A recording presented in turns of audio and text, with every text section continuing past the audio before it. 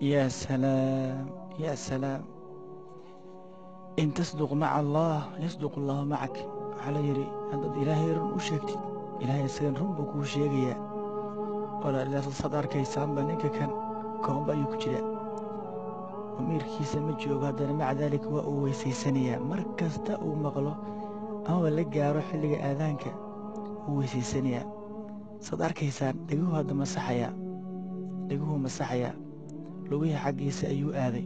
Koobuu ku jiraa miirkiisaba joogo.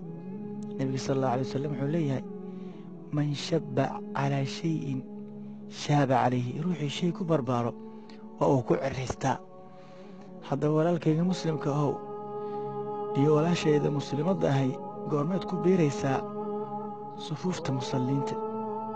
Oo aad ka mid noqonaysaa kuwa salaadooda xifdiya. Oo aad ka mid noqonaysaa kuwa salaadooda daa'ima goorme ayaad toosaysaa oo aad ogaanaysaa in arrimaha diinta kan ugu weyn tawxiidka alle kadib inuu yahay salaadda oo la xifdiyo.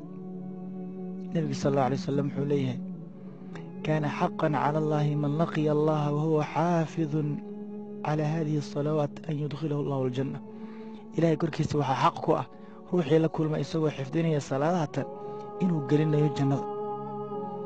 Xadiiska nebiga sal allau alay wasalam wuxuu ku leeyahay khamsu salawaatin shan salaadood man addaahunna ruuxii guta xaysu yunaadaa bihinna meesha loogu dhawaaqayo oo masaajidda ah weliba ku guta kunna lahu nuuran wa burhaana. Waxay u ahaanayaan maalinka qiyaamaha nuur iyo burhaan bay u ahaanayaan waman dayacahunna falaa yaluumanna ilaa nafsaha laakiin ruuxii dayaca naftiisa mooye cid kale yuusan eedin oo canaanan saan ogsoonnahay arrinka ugu horeeyo ay ku jawaabi doonaan eelnaarka markii la weydiiyey saqare maxaa idiin soo geliyay waxaa weeye salaadeena xifdiyi jiri.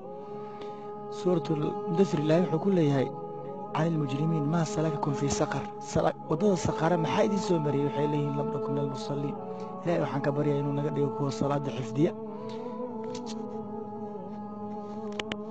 Yaa salaam